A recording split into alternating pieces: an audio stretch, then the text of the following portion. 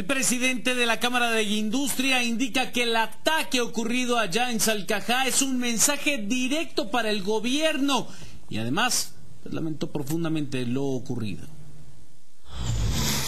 El presidente de los industriales Andrés Castillo lamentó los hechos que sucedieron en Salcajá, Quetzaltenango, indicando que este es un claro mensaje de desafío a las autoridades. Sí, es un claro mensaje desafiando a la autoridad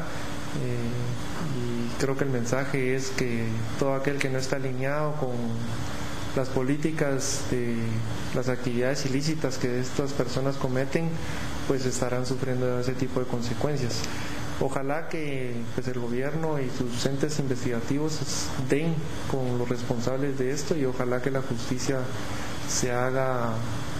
pues se haga cumplir, ya que de lo contrario creo que será el principio de muchos otros acontecimientos desastrosos que, estaremos viviendo en, Guatemala. Debemos de fortalecer las, las Fuerzas Armadas, debemos de fortalecer la autoridad, eh, pero hay que empezar, digamos, sancionando a todo aquel que esté incumpliendo la ley. Si no hay una sanción, eh, definitivamente todo el mundo se envalentona y empieza a hacer lo que se le da la gana lo que urge es el Estado de Derecho. Yo sé que es muy fácil decirlo, pero sí creo que debemos de tomar prioridades y enfocarnos en, lo que realmente necesita Guatemala. pues son, digamos, es una autoridad que prácticamente está desarmada. habría que ver realmente qué armamento tiene, digamos, eh, esa estación de policías de Salcajá. Eh, yo creo que ahí, obviamente, este, el crimen organizado lo que está haciendo es mandando un mensaje sumamente claro eh, y ojalá que el gobierno que hemos visto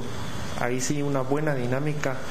eh, en el entender, digamos, de esos temas, aunque hace falta mucho por hacer, pero en el tema de seguridad creo que sí lo tienen claro, hay gente muy experta en el tema, ojalá logren, digamos, determinar cuál es la mejor vía para, para ponerle un alto a esto. Para Castillo, el trabajo del Ministerio Público no ha sido imparcial y se espera que tengan avances significativos en esta investigación y en otras a las que ponen en tela de dudas su papel de investigadores.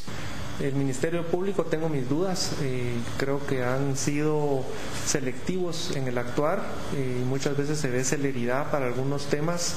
eh, y, lastimosamente muchas veces se ve parcialidad, no se ve la imparcialidad que ellos deberían de tener en la investigación.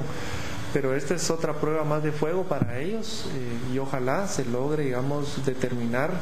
qué fue lo que sucedió, dar con los responsables eh, y ojalá pues empecemos a generar un poco más de seguridad porque sí es lamentable, digamos, que, sucedan este tipo de hechos. Lo hemos vivido, lo hemos visto, digamos, en, en México que a cada rato aparecen, digamos, este tipo de hechos, que son mensajes muy claros, desafiando la autoridad.